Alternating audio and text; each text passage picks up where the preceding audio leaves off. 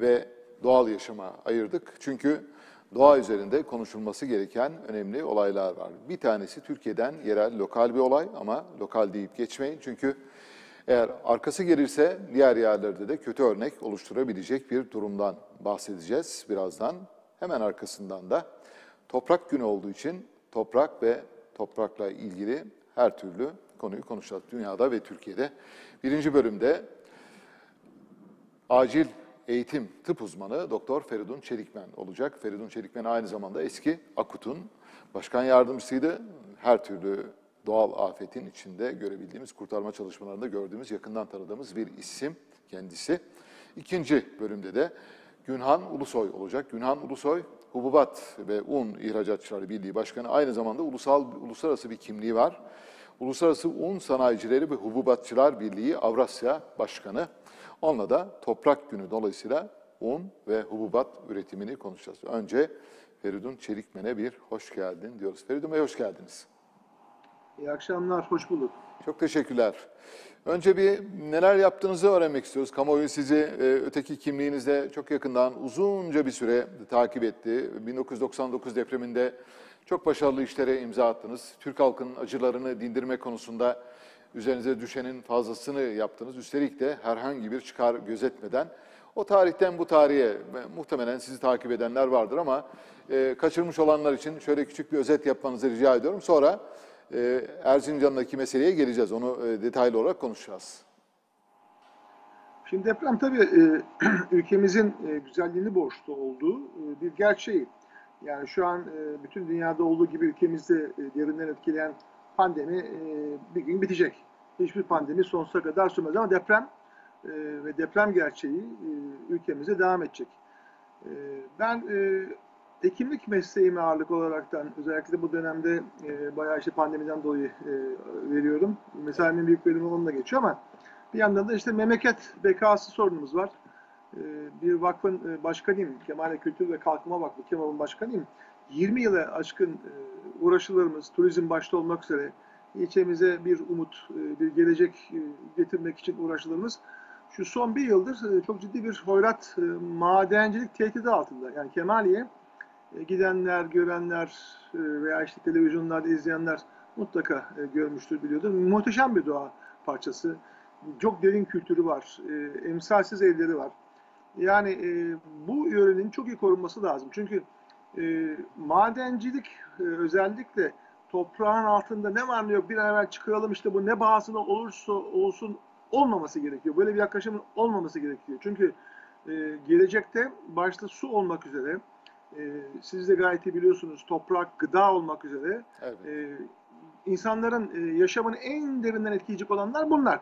Yani siz e, madeni e, her ne pahasına olursa çıkarıp da e, geride böyle ölü devasa çukurlar bıraktığınızda bunların geri dönüşü yok. İnsanlar ölür.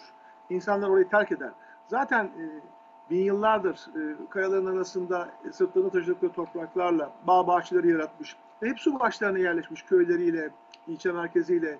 Çok böyle hakikaten e, nasıl diyeyim ben size e, kırılgan, fragil bir e, e, kitle var orada. Evet. Onları bir de böyle e, madenlerle, çukurlarla, efendime söyleyeyim zehirli bir takım atıklarla boğduğunuz anda yaşamı orada bitirirsiniz. Ondan sonra maden değil, dünyada ne çıkarırsanız çıkın hepsi boşa gider. Hiçbir şey yaramaz. Asıl olan insandır. Yani çevre duyarlıdır. insana saygıdır. E, bizim mücadelemiz e, şu 11 yıldır özellikle bu hoyrak madenciliğe karşı. Çünkü duyuyoruz, görüyoruz. Yani böyle bir bir sıkıntılardan, ekonomik sıkıntılardan kaynaklanan bir acelecilik var. Yani Kemal'in halkı e, Karadeniz'de doğal gaz bulunduğunda göklere çıktı böyle. Nasıl sevinç mesajları yayınlandı. Biz bunlardan gurur duyduk. Yani ülkemizin evet. enerji darboğazına bir çözümdü sonuçta bu ama e, gelip görün ki özellikle demin de e, konuşmamın başında söylediğim gibi hoyrat madencilik dendiği anda yani ülkenin özellikle başta su olmak üzere birçok kaynağını siz heba ediyorsunuz, feda ediyorsunuz bu madencilik uğruna. Çünkü Fırat e, müthiş bir kadim nehir. Yani e, yüz binlerce yıldan beri kendi kendine şekillendirdiği bir coğrafyada e, akıyor ve e, birçok e, ilçe ile hayat veriyor. Yani Erzurum'dan beri doğar, daha işte Şatoları bu Basra Körfezi'ne kadar bütün bir e, medeniyetlere e, beşiklik yapmıştı. Kemal de bunlardan birisi. Yani Mevlana'nın gelip geçtiği, efendime söyleyeyim bir sürü gezgin yurt dışından, e, Jean Lawrence'den, efendime söyleyeyim e, Maraşal von Moltke'den Kazım Karabekir Paşa'dan tutun da işte Evliya Çelebi'ye kadar birçok gezginin e, hayran olduğu bir coğrafya. Ve Osmanlı Devleti'ne de inanılmaz şekilde böyle sadrazamlar yetiştirmiş, e, daha sonra Cumhuriyet döneminde başbakanlar yetiştirmiş. Ya çok böyle hani insanıyla gurur duyan bir ilçe, belde. Buranın insanlarını yok etmemek lazım. Şimdi cahil bir kesim ya işte madenle niye karşıladın falan filan. Yani Kemaliye halkı, Kemaliyeliler hiçbir zaman devletinin hayrı olan bir şey karşı çıkmamıştır. Ama bu hoyrat madencilik devletin de milletin de hayrına değil. Baktığınız zaman şunu görüyorsunuz. Bir sürü çok uluslu firma aynen geçmişte bakın e, geçen bir belgesel izledim. Ben Afrika'ya nasıl sömürmüşler böyle işte iğne kadar. Yok Evet. elmas çıkaracağız, yok altın çıkaracağız diye. Sonra geriye de çöpleri bırakıp defolup gitmişler. Bir sürü medeniyet. Batının o tek dişi kalmış canavarları. Şimdi benzer şey hiç farkında değil yani inanılmaz bir şekilde bizim yönümüzde çöreklenmiş durumda. Bakın Ankara'ya gidiyoruz. Oturmuş oradaki bürokrat gözünü sevdiğim bol keseden ruhsat izni vermiş. Gelin her yeri delin diye. Erzincan bizim ilimiz. Oradaki oturan bürokrat yine işte tamam demiş onay vermiş. E, be kardeşim bir gel bak bu adamlara e, sondaj yap. Ocak aç dediğin yerden neresi? Bunların hepsi Kemal'in su kaynaklarının üstü. Boyaları deldiğiniz anda ki yasalar da buna izin vermiyor. Yani e, sondaj başta olmak üzere yarma gibi böyle büyük doğayı tahrip eden işler, ocak açmak gibi yaptığınız anda çet istiyor. Bu adamların ne çeti var ne bir şeysi var. Sabahleyin bir bakıyorsun köylüm gidiyor garibim. Yıllardan beri koyunlarını otardığı suyun işi çeşmenin başında kocaman bir alet toprağı deliyor. 200-300 metre, 500 metre dibine kadar neymiş işte sondaj yapıyor. Adamlara sorduğu zaman biz sondaj yapmıyoruz, delik açıyoruz diyorlar. Yani çocuk insan hakkında alay ediyorlar. Böyle enteresan işler oluyor. Ben bir tek tek nefesle böyle biraz hızlı girdim konuya. İsterseniz biraz sorunlarınızla devam edelim. Evet. Yani sorun büyük. Çok bir bilinçsizlik var, bir cehalet var hakikaten. Ee, buyurun sizden Peki. devam edelim. Şimdi işin bir, yerüstü kısmı var, bir de yeraltı kısmı var. Önce yerüstü kısmını konuşalım. Bir defa e, açmak için orada işte belli sayıda ağacı kesmek zorunda, belli sayıda endemik bitkiyi ortadan kaldırmak zorunda. Daha doğrusu o bitkilerin hayatiyeti sona eriyor. Önce o kısmını anlatmanızı rica ediyorum. Asıl bence üzerinde çok durulması gereken, yani endemik bitkiden daha önemlisi, Türkiye bir su fakiri ülke, bunu biliyoruz. Ve e, suyun da önemli kaynaklarından bir tanesi yeraltı suları. Eğer biz yeraltı sularının rejimini değiştirirsek, yeraltı sularının rejimini değiştirmek dediğimiz nedir? Yer altında işte artezyen kuyuları açtığımızda, sondajlar yaptığımızda, yer altında o tabakaları deldiğimizde suların rejimi değişiyor. Başka yerlere doğru akıp gidiyor. Artık o su bir süre sonra Kemaliye'nin, Erzincan'ın, Malatya'nın, Erzurum'un, Erzincan'ın suyu olmaktan çıkıyor. Başka bir yerde. Yani o suyun yatağını değiştirdiğiniz anda o su e, Brezilya'dan bile çıkabilir. Bu kadar yer değiştirebilme özelliğine sahip olan bir şeyden bahsediyoruz. Bu bakımdan insanlığın belki de en önemli korunması gereken miraslarından bir tanesi yeraltı su kaynaklarıdır. Mümkün olduğu kadar insanlık yerüstü su kaynaklarından yararlandırılmaya çalışılıyor. Yeraltı su kaynaklarına olabildiğince dokunulmaması isteniyor. Ee, Dünya e, Vahşi Yaşamı Koruma Örgütü'nün de tavsiyesi bu yönde. Bizim e, Doğal Hayatı Koruma Vakıflarımız da bunları tavsiye ediyor. Fakat sorun sorunlu bir şekilde ve hatta sorumsuzca e, özellikle bu Trakya'da çok fazla var. Trakya'daki durumu çok iyi bildiğim için söylüyorum. Ergene Vadisi şu anda yok olmanın eşiğinde. Benzeri bir durumu burada görüyor musunuz? İsterseniz önce yer altını konuşalım sonra yer üstüne geçeriz. Çünkü yer altındaki durumun çok daha vahim olduğunu düşünüyorum ben.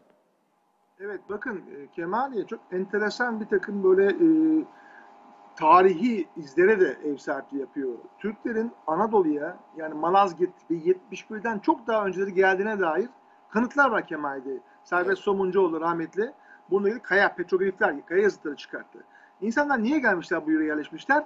Su var diye. Yani Kemaliye'nin merkezi de dahil bütün köyleri hep su başlarına kurulmuştur.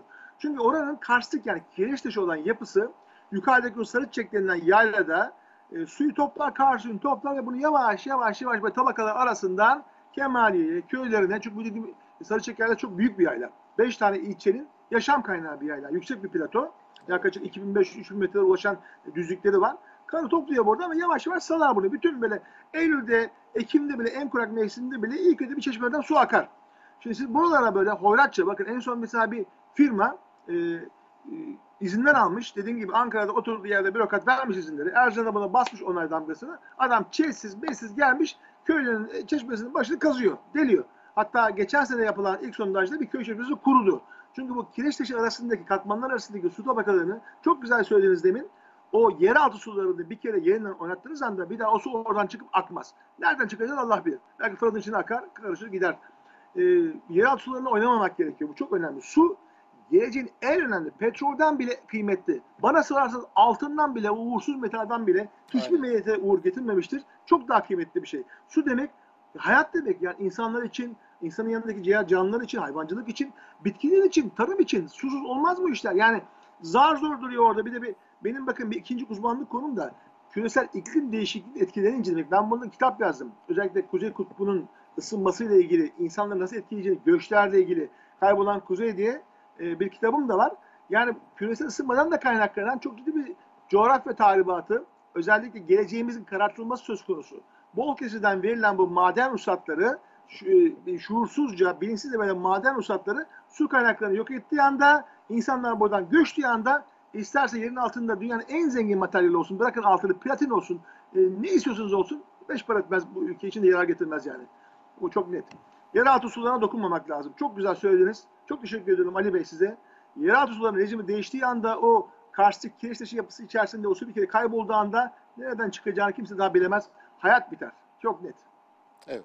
Peki bir de yer üstüne değinelim. Orada da çok önemli. Çünkü e, o platoda çok sayıda endemik bitki var. Daha Artvin'e kadar uzanan bir hinterlandtan bahsediyorum. Yani doğrultu oradan başlıyor. E, Erzincan'dan başlıyor. Artvin'e kadar uzanan bir coğrafyada 2500-3000 dolayında e, endemik bitkiden bahsediyorlar. Bilmiyorum tabii bunlar dünyanın başka yerlerinde de olabilen bitkiler midir aynı zamanda onu bilmiyorum ama eşsiz olduğunu düşündüğümüz böyle e, son derece unique olduğunu düşündüğümüz e, bitkiler de var. Bu bitkilerin de yok olmasıyla ilgili bir süreç başlıyor diyorsunuz.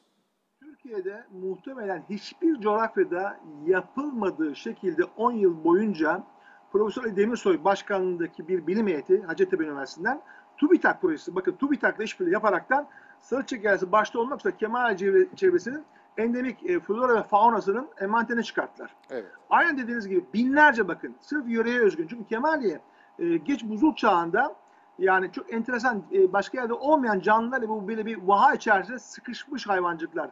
Genel şekilde bitki türleri. Çok enteresan bir e, yapısı var. Yani, e, nehir yatağına yakın yerlerde ılıman, yukarı çıktığınız zaman alpin coğrafyaya özgün bitkiler var. Başka yerde bunlar yok.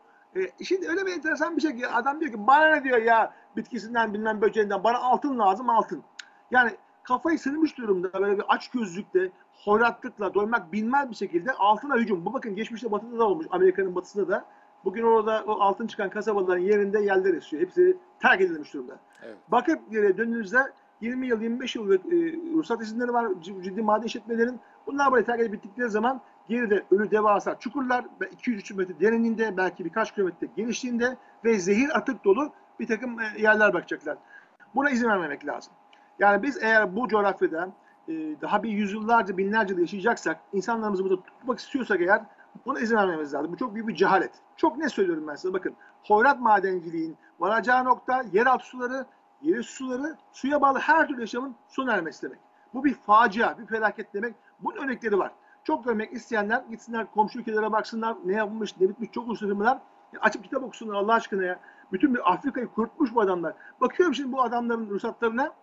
Yabancı ülkenin firmaların çoğunun kendi ülkelerinde bir tane dahi ve- veya bir tane ruhsatları var. Türkiye'nin 10 katı büyüklüğünde Kanada'da bir tek izinleri var. Evet. Diğerleri nerede? Papua Yeni Gine, Afrika'da Gana, yok işte Türkiye. Yani tamamen sömürebilecekleri ülkelerde. Gelip burada bir takım böyle angajmanlar yapıyorlar. Ondan sonra böyle çörekleniyorlar ve kanser gibi büyüyorlar bir anda. Yani kalkıp da mesela Kemaliye'nin etrafında köylerine bir hayır olmayacak bu adamların. Ya işte ilimizde bir takım böyle işte e, para dağıtıyor spor kulüplerine. Yok bilmem ne vesaire. Yani batsın bu tür işler ya. Yazık günah. Bunun varacağı yer çok ciddi bakın Ali Bey. Çok ne söylüyorum ben size. Buna izin verirsek Afrika'dan beter oluruz. Yani bakın hoyrat madencilik aman aman çıkarsın bunlar. Üç kuruş bize işte KDV verecek bilmem ne verecek diye. Bunun için ülkeyi mahvetmemek lazım. Çünkü bunun geri dönüşü yok. Bu adamların maden ocakları bittikten sonra geride devasa ölü çukurlar kalıyor. Üzerinde ot dahi bitmeyen devasa ölü çukurlar kalıyor. Çok net. Evet. Peki nasıl mücadele edeceksiniz? E, Çünkü e, oradaki madenin e, geçmişe dönük e, hikayesi var. O hikayeyi burada yani uzun uzun anlatarak tekrarlamak istemiyorum ama ciddi siyasi mücadelelere de konu olmuş bir bölge orası. Yani Kemaliye ve İliç'teki altın madeninden bahsediyorum. Bir defa çok yüksek tenorlu. O yüksek tenorlu olduğu için de çok iştah kabartıyor. İştah kabarttığı için de e, önünde herhangi bir engel e, tanımıyor. Yani bürokrasiden bir şekilde aşıp geliyor oralara kadar iniyor. Nasıl bir mücadele yöntemi düşünüyorsunuz? Yani siz e, siz Kemali halkı, Erzincan halkı, hadi daha biraz daha büyütürsek Doğu Anadolu halkı birleşerek mi yapacaksınız? Nasıl yapacaksınız? Yoksa e, daha radikal biçimde buranın mesela Birleşmiş Milletler tarafından e, Dünya Mirası listesine alınmasını sağlayarak daha farklı çözümler üzerinden mi gitmeyi düşünüyorsunuz? Hayır, biz burada e, işte gücümüzün yettiğince e, son, son damlamıza kadar mücadele edip durduracak mıyız diyorsunuz? Şimdi bakın, e, özetlemek gerekirse hepsini yapacağız. Yani sonuç olana kadar. Neden? Kemal'e bizim varlığımızı, her şeyimizi borçlu olduğumuz canımız memleketimiz. Yani başka Kemali yok. Bütün Kemaliye'nin büyük bölümü bu bilinçte. 3-5 tane maalesef bu konuda birazcık böyle saf vatandaşımız e, bu, bu işlerde birazcık böyle işte yani iktidar iktidar falan siyasi şey görüyorlar. Alakası yok bakın. Siyaset dışı, siyaset üstü bir proje bu, bir olay bu. Biz ne yapacağız? Öncelikli olarak da hukuki mücadele. Her koldan ta- anayasa mahkemesine kadar gidecek bu olay. Hiç kaçarı yok bunun. Çünkü yapılan iş şu anki mevcut kanunlara da aykırı yapılıyor. Yani insan hakkına böyle alay eder gibi e, adama sondaj yasağı var, delik açıyorum diyor ya. Sondaj demek delik demek. Ne demek yani bu birbirinden farklı bir şeyler değil ki. Bu mücadele her türlü platformda devam edecek. Ben uluslararası çevre örgütlerinin de temsilcisiyim. Çok ciddi ilişkilerimiz var. Ama ben şimdi ülkeme niye gidip başkalarına şikayet edeyim? Bu ülkenin yasaları içerisinde bu iş çözüldü, çözüldü. Çözülmediği takdirde bakın Kaz Dağları'nda çok ciddi mücadele yapıldı. Ormanları demin yarım kaldı. Aslında çok Evet. güzel girdiniz konuya. Bu işi yaparken ne yapıyor adam? İlk önce bütün ağaçları kesiyor. Yeşil örtüyü yok ediyor. Ardından toprak. Yaşamın kaynağı toprağa sığırıyor ki toprak on binlerce, yüz binlerce yılda ufalaraktan gelmiş kaya parçacıklarından oluşuyor. Onu götürüyor. Kaya çıkıyor. Kayayı da patlatıyor, oyuyor. Binlerce e, metre çapında kilometrelere varan e, delikler açıyor. Yüzlerce metre derinliğinde. Oradan çıkan cevheri taşıyor rafinerisine. Orada neymiş efendim işte e, ülkeme yüzde iki, yüzde üç e, bir pay verecek. Geri kalan hop dışarıya. Gittiği yerler belli. Bu ülkenin geleceğine ihanettir bu. Bakın çok net söylüyorum ben size. Yeraltı sularını yok eden, yerüstü sularını da Fırat'ı da kirletebilecek. Bakın siyanür, siyanür gibi çok tehlikeli maddeler, sülfürik asit gibi çok ciddi toksik maddelerden bahsediliyor. Evet. Bunların üretimi sırasında. Ve burası deprem kuşağında Ali Bey. Kuzeydoğu Anadolu fay hattıyla Doğu Anadolu fay hattının çakıştığı yer. Daha geçen sene e, bizim Naver köyümüz, Gümüşçeşme köyümüzde çok ciddi deprem oldu. Tam köyümüzün altından geçiyor Doğu Anadolu fay hattı. Uyandı. Ve hemen bu senenin başında, 2020'nin başında da Elazığ Mağara depremi oldu biliyorsunuz. Doğu Anadolu fay hattının e, hareketidir bu. Yukarıdan Kaf geçiyor. Kaf e, en büyük felaketleri, depremleri bugüne kadar Erzincan'da yapmış. Yani bu bölgedeki her türlü bu tür böyle toksik maddelerin olduğu devasa zehirli atık havuzlarının bulunduğu yerler başta Fırat olmak üzere yeri sularını da mahveder. Fırat'a bu havuzların birinin boşalması demek hayatın ta Basra Köprüsü'ne kadar sönmesi demek. Hadi Basra Köprüsü sizi ilgilendirmiyor diyebilirsiniz ama bakın bu Fırat geçerken bütün bir Türkiye coğrafyasına hayat veriyor. Yani bunun şakası yok. Ben tesadüfen bu madenin ilk daha kurma günlerinde o bölgeye bir ziyaretim oldu ki, e, ilçeye. Dönüşte bir yağmur yağdı. 10 dakika. Allah sizi inandırsın o yağmurda bütün bir demir yolu köprüsü, bütün bir bizim e, Bağışlaş, Tresöz'e varan yollar hepsi suya karıştı gitti. Yani karstik yapının yüzeyi de su sızdırmaz özellikle. Tabii. Sellere yol açabiliyor, dö- dönüşebiliyor. Yani çok ciddi sorunlar var. Dediğim gibi ne pahasına olursa olsun. Altın çıksın sanki bizim cebimize giriyor. Bir takım saf insanlar da eşinin boynunda böyle beşi bir yerde altınlar işte altında bilmem işte arabalar, yazlıklar, villalar bunların hayalini kuruyor. Ee, sonunda bir hüsran olacak ve her şey ama her şey geri dönüşü olmayan bir şekilde yok olacak. Bu çok net. Evet. Ee, Şimdi bazı görüntüler var. O görüntülere bilmiyorum dikkat ettiniz mi? Onlar e, şu anda Kemaliye'deki ve o bölgedeki e, reel görüntüler mi yoksa başka bölgenin görüntüleri mi? Hani İliş'te bir altın madeni var onu biliyoruz. Orada faal çalışıyor. Tabii tabii. Kemaliye'deki durum da bu mudur? Doğal güzelliklerin hepsi benim memleketimin görüntüleri. Cennet bir mekandır. Bakın alpin floradır burası. Karlı dağların arasında yemyeşil vadiler manzumesidir. Her tarafından böyle sular fışkırır. Tertemiz. Billur gibi sular fışkırır. Öbür maden ocaklarında bir, birkaç tanesi direkt olarak yanı başımızdaki işletmeye ait olan ocaklar. Devasa bir çukur oluşmaya başlamış orada. Ben bunu sorduğum zaman arkadaş sen bunu daha sonra bana anlatıyorsun böyle işte altın şudur falan filan. Ne yapacağım bu çukur dediğim zaman diyor ki adam burası göğet olacak. Göğet olma şansı yok. Amfiteyatro gibi bir ucu açık. Dolduramazsın. Diğerlerin büyük çoğunluğu da aynı benzer işletmelerin dünyanın değişik yerlerindeki mahvettikleri coğrafyalar işaretler. Bakın bitirmişler işlerini. Geride kalan devasa çukurlar. Bazılarının çapı 10 kilometre çapında. Derinliği 1000 metreye kadar iniyor. Yani oymuşlar oymuşlar alıp götürmüşler. Resmen Afrika'nın geçen yüzyılın başında Belçika'sı, Hollanda'sı, İngiltere'si, Fransa'sı, İtalya'sı ve bunların yaptığı aynen sömürge yaklaşımıdır bu. E, ülkeleri işte ne pahasına olsun kaynaklarını tüketmek, bunları alıp götürmek, geride işte ölü çukurlar bırakmak. Bir takım adamlar da işte 3-5 kuruş atıyorlar önlerine. Maalesef bu acı bir gerçek. Durum bundan ibaret. Evet. Peki son sorum. Enerji ve Tabii Kaynaklar Bakanı'nın yaklaşımı ne? Çevre ve Şehircilik Bakanlığı'nın yaklaşımı ne? Tarım ve Orman Bakanlığı'nın yaklaşımı ne? Bunlarla yaptığınız görüşmeleri ve temasları da bizimle paylaşırsanız sevinirim. Değil mi? Yarım kaldı. Kemaliyeli dediğim gibi e, yani yüzyıllardan beri Osmanlı'dan beri devletine bağlı her zaman için devletin yanında olmuş. Bu sadakatinin karşılığında da bu coğrafyaya en azından sahip çıkılmasını beklemiş bir ülke, bir, bir millet, bir e, yöre. E, bununla ilgili olarak da biz dedik ki gidelim büyüklerimizle de konuşalım. Sağ olsun ağabeylerimiz, bakanlarımız bizim devleti en üst düzeyde hizmet etmiş. Ta e, rahmet Özal döneminden beri hükümetlerde yer almış abilerimizle e, Maliye Bakanlığı yapmış, Ulaştırma Bakanlığı yapmış büyüklerimizle. Düştük yollara gittik Ankara'ya. E, Enerji ve Tabii Kaynaklar Bakanı'yla da görüştük. Bu maden işlerine bakan MAPEK'in başındaki kişiyle de görüştük. Enteresan yani şöyle Kemaliye işte kıymetlidir, Kemaliye güzeldir, haklısınız diyorlar, haklısınız diyorlar. Sorduğumuzda diyorlar haklısınız, çeşsiz yapamazlar bunu diyorlar. E gibi çeşsiz kazıyorlar burayı yani e, sondaj yapıyorlar. Enteresan işler. Yani dediğim gibi biz öncelikli olaraktan herkese bu konuda e, bir farkındalık oluşturup haberdar edeceğiz. Bu işin ülkemize, çünkü bakın bazı insanların çevreci, bilmem ne diye küçümsediği insanlar sayesinde bu ülkenin tabiatı, coğrafyası bugün ayakta. İnanın bana. Bıraksak var ya, o yabancı çok uluslu şirketler, ona bunu atarlar birer parça bilmem ne anlıyorsunuz işte. Bu ülkenin her şeyini yer bitirirler. Sonra geri döndü, aa pardon dersiniz yani. Aa pardon bilmedik dersiniz. O yüzden en üst düzeydeki her yere ulaştık. Başbakan, eski başbakan, son başbakan Binali Bey ile hemşerimizle de görüşüldü. Abilerimiz görüştü. Biz işte Kemal'in hassasiyetini biliyoruz. Bununla ilgili her türlü duyarlılığa sahip olacağız dendi. Bekliyoruz. Yani şu aşamada hukuk yürüyor bir yandan. Ankara'daki görüşmelerin sonuçlarını bekliyoruz. Ama dediğim gibi bu mücadele asla pes etmeden sonuna kadar devam edecek. Çünkü başka Kemal'i yok. Kemal'e gidin görün. Bütün bu ülkenin bütün insanları Kemal'i görsünler. Bir cennet parçası. Asla ve asla hoyrat madenciliği terk edilmemesi gereken bir cennet parçası. Burayı eğer ki madencileri kaptırırsak burası devasa ölü çukurlara dönüşürse atalarımız bizi affetmez. Çocuklarımız bizi affetmez. İnanın bana. Bu topraklara eğer ki bir vefa borcumuz varsa bu coğrafyaya sahip çıkmamız lazım. Bunlar boş beleş laflardı. inanın bana. Evet. Feridun Bey, e, son bir ekleme yapacağım. Ona ilişkin sizin eklemeniz varsa onu da dinleyelim. Ondan sonra reklama gideceğiz. Yani bitireceğiz e, mülakatımızı. Şimdi günümüzde en büyük savaşlar biliyorsunuz petrol, enerji kaynakları üzerinden yapılıyor. Ama enerji kaynakları yavaş yavaş yer değiştirmeye başlıyor. Yani petrol ve doğalgaz ve benzeri fosil yakıtların yerini yenilenebilir kaynaklar alıyor. Rüzgar, güneş enerjisi gibi e, kaynaklar alıyor.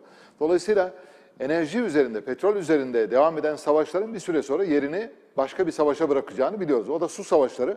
Maalesef bunun çok farkında e, değiliz. Yani biz de değiliz. Dünyanın pek çok ülkesi de değil. Üstelik de bizim e, su fakiri bir ülke olduğumuzu e, hatırlatmak lazım bu bilmeyenlere. O çerçeveden baktığınızda yani Türkiye yarın büyük bir su krizinin içine sürüklendiğinde dediğiniz gibi bunları geçmişe doğru bakarak keşke yapmasaydık diyeceğiz ama iş işten geçmiş olacak diye düşünüyorum. Birkaç cümleyle ilave ederseniz öyle noktalayalım. Kesinlikle doğru düşünüyorsunuz.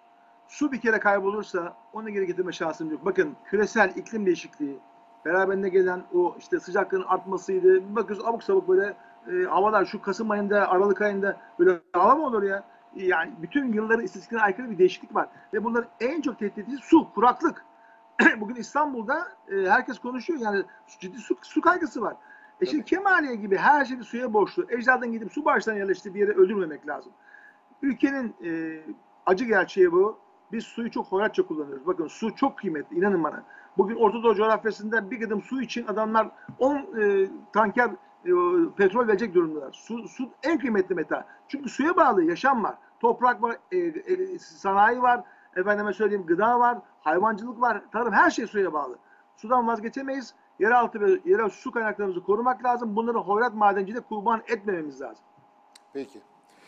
Ee, başarılar diliyoruz size. Umarız e, sonuç alırsınız bu çabalarınızdan. Biz de sizin yanınızda durmaya çalışacağız ama işte göreceğiz hep birlikte. Çünkü oradaki altın madenindeki geçmişteki kavgayı çok iyi biliyorum. 10 yıl önce olağanüstü yani kimsenin kimseyi